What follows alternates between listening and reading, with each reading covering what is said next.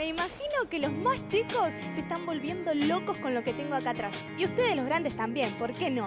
Ya estamos de regreso con más integración activa y seguimos compartiendo más de lo que fue Expo Bio 2016.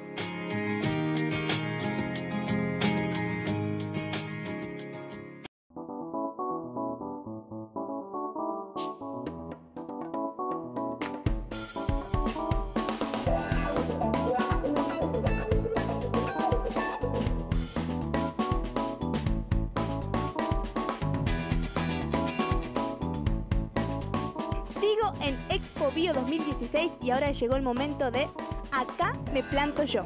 Y vamos a visitar lo que es la Escuela de Reforestación. Vení.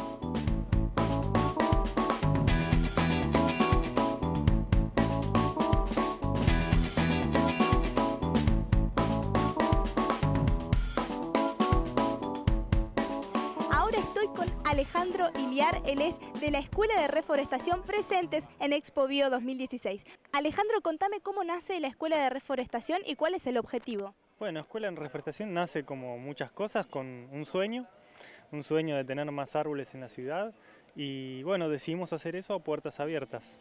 Y hoy Escuela de Reforestación es un vivero escuela de plantas nativas que produce, compartiendo la actividad con la Mutual Ninsei, que es una mutual de servicios culturales. Y básicamente lo que hacemos es cultivar con el mayor número de personas que se pueda árboles nativos de la región rioplatense. Organizamos salidas para ir a plantar, eh, organizamos capacitaciones porque nos interesa capacitarnos y hacer cada vez mejor lo que hacemos. Así que una vez por mes convocamos a un taller o a una capacitación a algún tema puntual y también salimos una vez al mes si podemos a plantar. La idea es motivar a hacer más árboles, eh, siempre con la idea de conectar a la gente con lo natural. Creemos que es algo sano, creemos que hace bien volver a estar con la naturaleza. Y bueno, nuestra herramienta para hacer ese clic en las personas es poner la semillita, hacer un árbol, tener la experiencia de volver a sentir la tierra. Y bueno, hoy vamos a estar acá compartiendo distintas, distintas experiencias, vamos a hacer talleres de cultivo de plantas nativas, vamos a hacer prácticas de vivero, contándoles qué es lo que hacemos, vamos a, hacer- a dar también talleres de compostaje, algo de huerta también porque también producimos alimentos y sustratos. Y bueno, vamos a estar acá compartiendo eso con todos los que quieran acercarse y bueno, mostrando un poco de la producción que tenemos allá en la escuela, que son árboles nativos. Trajimos alguna selección para, bueno, el que quiera, el que quiera llevarse, nos ayuda a, a solventar la construcción del nuevo invernáculo. ¿Vieron esta belleza que tengo acá al lado mío? Bueno, aunque no parezca un poco, llegamos a gastronomía saludable en Expo Bio 2016. Y ahora vengan, acompáñenme.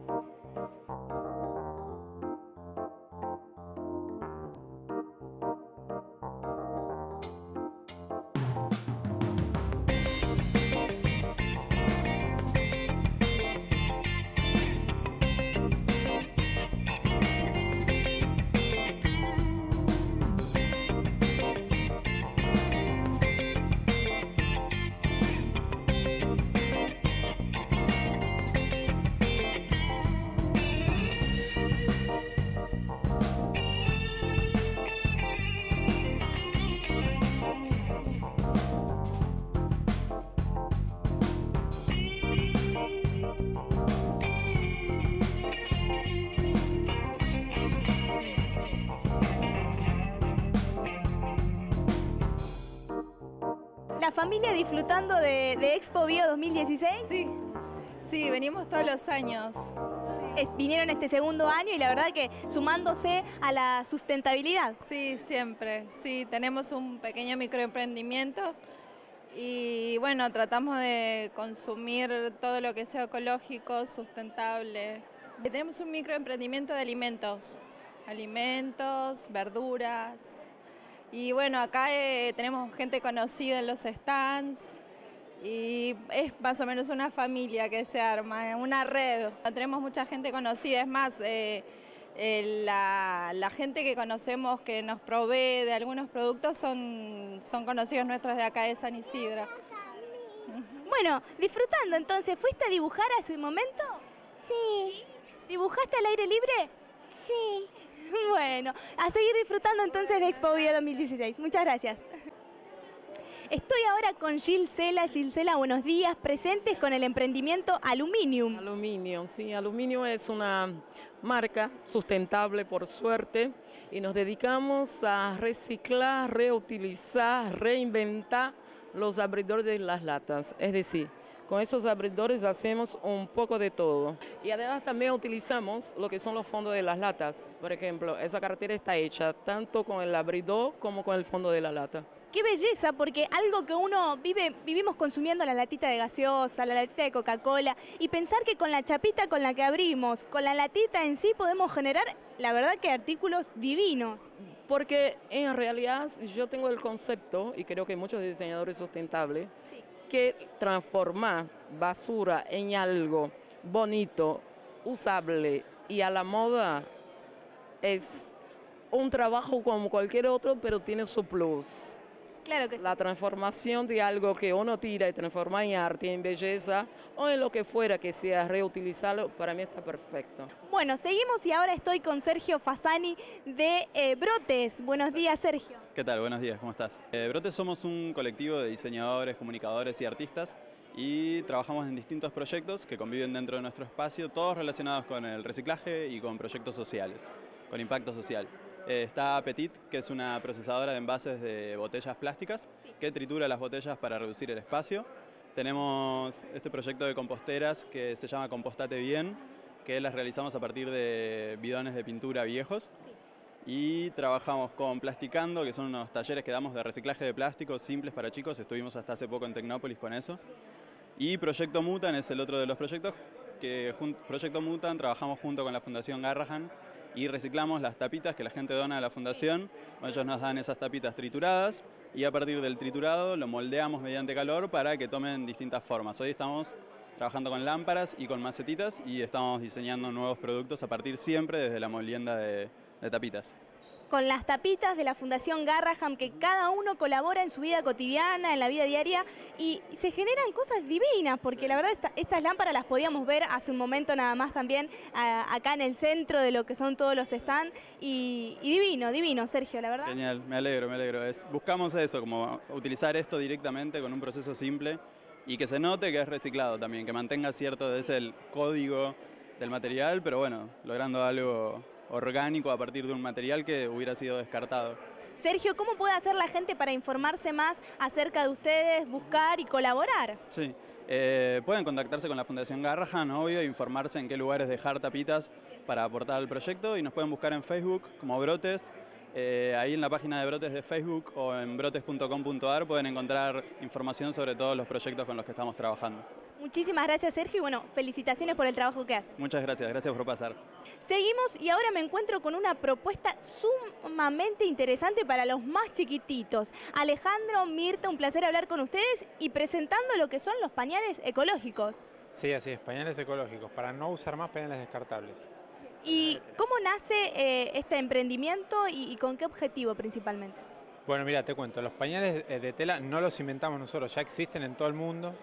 Este, hace siete años, cuando nace mi hijo el más grande, nos regalan tres pañales que nos traen de Estados Unidos, nosotros no los conocíamos. Y así fue que los empezamos a usar y nos parecieron buenísimos y quisimos comprar y acá no había. Así fue que bueno, dijimos, bueno, esto hay que hacerlo. Este, así que primero empezamos haciendo para nosotros, encontramos las telas, buscando un poco. Y bueno, de a poco se fue convirtiendo en un emprendimiento y ahora ya hace siete años que hacemos pañales y año a año hemos ido creciendo y por suerte estamos vendiendo en todo el país. ¡Qué maravilla! Mirta, y ahora sumándose a Expo Bio 2016. Sí, sí, sí, con mucho gusto para que esto tenga difusión, porque lo importante es eso. Nosotros a veces no encontramos el canal exacto para difundirlo. Sabemos que es un producto que funciona, que lo que mejor tenemos es la calidad de vida para la cola del bebé, eh, que es eh, un producto que sabemos que funciona perfecto, perfecto, y que las mamás, bueno, mi hijo, él tiene más eh, facilidad como para explicarle bien todo, todo lo que aporta este pañal. Este, bueno, nos interesa mucho que llegue a todo el público. Bueno, estoy ahora con Flor e Ignacio, ellos son de Botica Puro, Conciencia y Naturaleza. Buenos días Flor, buenos días Ignacio, un placer hablar con ustedes. Gracias. Flor, contame un poquito cómo nace Botica, eh, que la verdad que es muy interesante eso. Bueno, nosotros empezamos ya este proyecto hace siete años atrás, un poco por necesidad. Nosotros tenemos dos niños, uno tiene una gran intolerancia a los químicos sintéticos, tiene autismo y es muy, muy sensible con lo cual, bueno, empezamos a hacer estudios afuera y demás y a eh, tomar conciencia de las letras chicas de las etiquetas. Empezamos a, ver que no podíamos usar un montón de productos eh, que estaban en los productos que estábamos usando en Argentina, con lo cual, bueno, cuando empezó a viajar algún abuelo, alguien de la familia, tráeme un jabón, tráeme un shampoo, tráeme un baño de burbujas, y bueno, y en un momento dijimos, tratemos de hacer el jabón acá, ¿cómo vamos a hacer? Esto va a ser insostenible, o sea, es una necesidad. Y bueno, eh, viajamos a Paraguay, viajó en realidad él, eh, en un momento complicado de la Argentina, las muestras nos quedaron del otro lado. Bueno, y siempre decimos que Botica es un poco una carrera de milagros, en el sentido que, bueno, todas las cosas que no iban a ser fáciles, obviamente, pero empezaba todo con, no, eso es imposible, ¿no? Acá eso no lo van a poder hacer.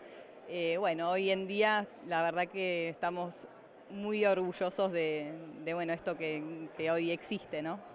Una necesidad que llevó a algo que era difícil pero no imposible, Ignacio, y es hoy que ustedes ofrecen sus productos también a un montón de familias que quizás se encuentran en la misma situación y son su solución. Sí, de algún modo sí, y también nosotros formamos una asociación de padres de niños autistas junto con otros padres, ¿no? Y eh, ellos también siempre fueron como una especie de sostén en su demanda. Para nuestros niños querían más productos y por qué no sacan la pasta dental y por qué no hacen el champú y, y bueno, lo que nació siendo con un jabón, que fue nuestro primer producto, hoy en día es una línea bastante completa y bueno, aspiramos a tenerla mucho más completa porque sabemos que todavía nos faltan muchos productos de necesidad. Pero bueno, siempre quisimos hacerlo desde el lugar de que sea no solo para pieles sensibles o para aquellos que tuvieran una necesidad, sino para todos aquellos que quisieran tener una mejor calidad de vida. Entonces desde el inicio arrancamos con una conciencia de que los productos sean ecológicos, de encontrar siempre con lo que tenemos a mano en la Argentina, ¿no? porque eh, muchas veces lo perfecto es enemigo de lo posible y nuestra idea era que, bueno, que, pudiéramos tener acceso a esos productos que no estaban. Entonces, bueno, en la medida que fuimos encontrando y, eh, nuevas materias primas y nuevas formas de producir, lo fuimos haciendo con lo que yo llamo con conciencia para demostrar también un poco como ejemplo de que una producción saludable se puede hacer, no es de un día para el otro, es un camino. Todavía no podemos decir que estamos en una producción 100% saludable porque ni siquiera hay envases, ni siquiera hay montones de cosas que todavía faltan desarrollar. Pero el hecho de crear la demanda, de que la gente cada vez toma más conciencia de estos productos, nos alienta a decir que, bueno, quizás dentro de unos años toda la producción, tanto de cosmética como de alimentación, sea saludable en la Argentina y en el mundo. ¿no? Y es por eso que ahora me encuentro con Guillermo Gutiérrez, él es director ejecutivo del Patronato de la Infancia. Buenos días, Guillermo. Buen día, ¿cómo estás? Guillermo, contame un poquito para la, gente qué es Patronato de la Infancia y cómo se da esta relación con Expo Bio 2016. Bueno, el Patronato de la Infancia es una asociación civil, tiene 124 años de vida, siempre estuvo trabajando ininterrumpidamente para la niñez carenciada, empezó con un objetivo muy claro que era este, ayudar y asistir a los hijos de inmigrantes que venían en la época del 1892 aproximadamente, fue mutando con los años ¿sí? y actualmente estamos trabajando con dos escuelas. ¿sí? ¿Cómo, ¿Cómo llegamos acá? Llegamos por intermedio de un vínculo que hay entre la organización y la Comisión Directiva del Patronato de la Infancia. Ellos, como están preocupados por el medio ambiente, están preocupados por por un poco todo lo que es la parte este, del cuidado futuro, ¿sí? de lo que va a suceder con el, con el clima y con cómo podemos aprovechar un poquito este, todo lo que tiene que ver con, los materiales y los productos, consideraron que una entidad que está apoyando a la niñez, a la educación, a los valores y a la salud, era una asociación indicada para acompañar y para donar parte de, de este ingreso. ¿no?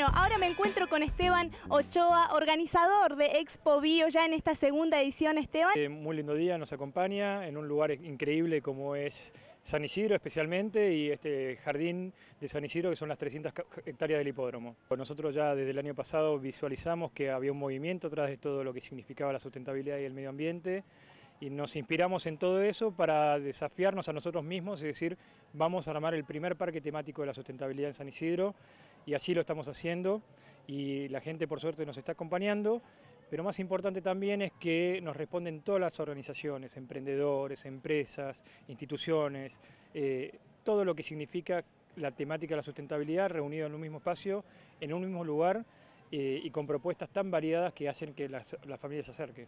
Así es, con propuestas variadas que, eh, que, incluyen al más chiquitito hasta el más grande, con distintas temáticas. Y hoy sábado, Esteban, está la maratón. Contame un poquito de qué se trata. Y bueno, al maratonista no le gusta llamar maratón a lo que no es maratón, pero bueno, es un poco así. Es una carrera inclusiva, la llamamos Corre por el Otro, para generar conciencia sobre lo que significa el respeto al prójimo, pero fundamentalmente sobre el que es actividades al aire libre, vida sana, aprovechando este lugar, este marco, y lo que demuestra que Expovía es un parque temático de la sustentabilidad porque te ofrece desde una carrera como la que te estamos contando, este parque como es Expovía Infantil, y la posibilidad de probar un auto eléctrico o recorrer una casa sustentable o ver lo que sucede con las energías renovables. Y además la gente, en este concepto de la sustentabilidad también, puede recorrer un mercado de más de 200 emprendedores que tienen que ver con el campo del diseño, la producción, eh, servicios vinculados a la sustentabilidad.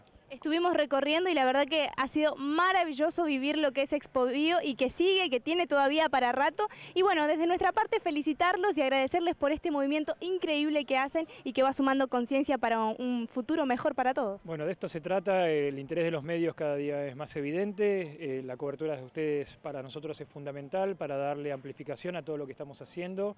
Eh, se da una relación orgánica con los medios donde cada uno cuenta su historia, su experiencia en Expovio. En un solo día no basta para vivir todo lo que sucede acá adentro, por eso seguramente los estemos viendo mañana. San Isidro Sustentable presente en Expo Bio 2016, ya en esta segunda edición. Marcos, Rodrigo, presentes acá, presentando algunas de las actividades que lleva, que lleva adelante San Isidro para la sustentabilidad. Así es, una de las que podemos mencionar es la recolección de material tecnológico que surge del convenio que firmó la Municipalidad de San Isidro junto a la Fundación Equidad. Básicamente lo que consiste es que utilizamos algunas plazas del municipio como lugares de acopio, donde el vecino nos acerca el material tecnológico, el mismo se envía a la Fundación Equidad, donde ellos a partir de su taller de reciclaje reacondicionan todo el material y nos devuelven computadoras nuevas para ser donadas a jardines, merenderos, centros de jubilados, asociaciones civiles y demás. Ya llevamos cuatro campañas realizadas y donamos más de 80 computadoras. Bien, así que el vecino tiene que estar atento porque esta campaña se va comunicando y aquellos eh, elementos electrónicos que uno cree que ya no funciona más pueden ser reutilizados. Sí, sí, por supuesto, todo sirve. Eh, aunque no parezca, capaz alguna piecita y con esa piecita se hace una computadora nueva y el objetivo de esta campaña es doble, es achicar la brecha digital porque de esta manera se le acerca esta tecnología a gente que hoy no tiene la posibilidad y además, bueno, reducir el volumen de este material que es altamente contaminante. Así es. Bueno, Marcos, ahora vos me vas a contar acerca de lo que tenemos acá enfrente, una bici, una bici con la que puedo proyectar. Exacto. Esta bici genera energía, esa energía es almacenada y una vez que es almacenada, para borrar la huella de carbono o no perjudicar al medio ambiente, no estamos conectados en ningún tipo de electricidad de red. La electricidad es generada por la persona que pedalea y nos devuelven energía y en, el momento mientras ve la, mientras pedalea ve el spot publicitario nuestro que donde le explica lo que hace San Isidro Sustentable por el medio ambiente. Ahora me van a ver pedalear, me van a ver proyectar con, con energía de, mi propio cuerpo, energía física a través de la bici. Y también Marcos eh, San Isidro hace poco lanzó una campaña de reciclado de aceite usado de cocina. Exacto. Esta es una campaña que largamos con nosotros que somos la fundación, la organización Equilibrio Sustentable, una organización, una ONG, que trabajamos por el medio ambiente y tenemos varias campañas, entre una de las cuales es esta, que bueno, simplemente esperamos que los vecinos nos traigan aceite usado de cocina, lo filtren, si pueden, si no pueden, eh, lo traen igual, lo ponen en una botella de plástico. Nosotros eso lo recibimos en centros de acopio que están dispuestos, gracias a Carrefour, que nos dio el espacio, y con, el, y con ese aceite nosotros lo filtramos nuevamente y hacemos talleres de, de orgánicos, de jabón orgánico y artesanal. Eh, estamos trabajando con varias fundaciones, por ejemplo con la Fundación Margarita Barrientos, y bueno, de ahí este, ese resultado de lo que es un residuo se transforma en un insumo para, para jabones que producimos.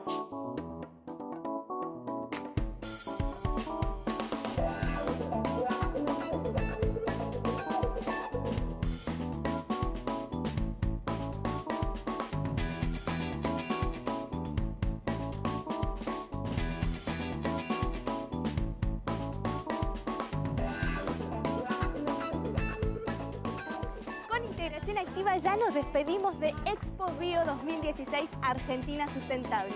Esta exposición, que más que una exposición, es un movimiento. Un movimiento que tiene su piedra fundacional en San Isidro. Vos recordá que podés revivir esta nota a través de nuestro canal de YouTube. Búscanos como Integración Activa TV. Y ahora sí, no te muevas, porque en un ratito continuamos con más.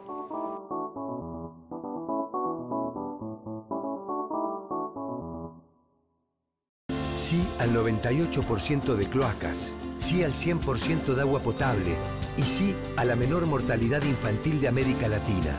¿Te animas a seguir diciendo que sí a vivir mejor? Yo digo que sí.